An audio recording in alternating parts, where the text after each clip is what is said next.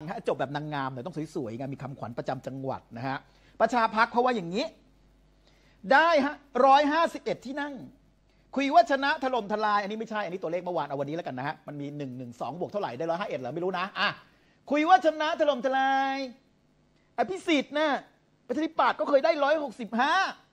ยังเป็นฝ่ายค้านเลยครับ บุญยอดสุขถิ่นไทยไม่ใช่ถิ่นไทยสุขนะ คุณคุณโอม สุขถิ่นไทยนามสกุลเดียวกันป่ะเนี่ยนะ ปรากฏเนี้ยเออก็จริงนะเขาเลยบอกว่า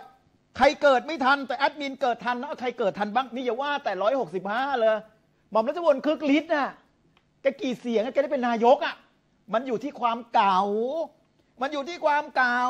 เออ นะฮะ ใครเกิดไม่ทัน แอดมินเกิดทันนะ หมายถึงคุณโอมไง